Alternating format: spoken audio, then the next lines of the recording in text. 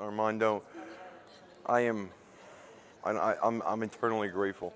I, I heard what you had initially said about when you started out, and um, maybe like four years ago, I was in, I was pretty much, I was homeless. I had nowhere to go. I was just, I was shot in the, in, in the butt with everything. I didn't know what I was going to do, and I um, like I was, I was literally living on the streets, and um, I, I got myself up, cleaned myself up, got a little little handyman business started and whatnot, and then saw this infomercial and figured out a way to make it here and so on and so forth and I'll be a millionaire by the time I'm I'm 35. Like you don't even know.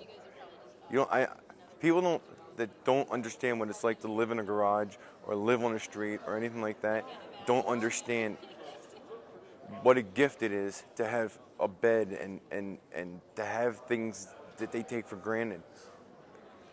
I understand. And what you gave me today and this entire weekend has completely changed my life. But it's, I'm more grateful because it's, it's changed my daughter's life, it's changed my wife's life, it's changed my mother's life.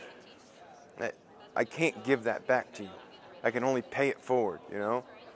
I'm just eternally grateful and uh, and I, you're like sent from God or something, man.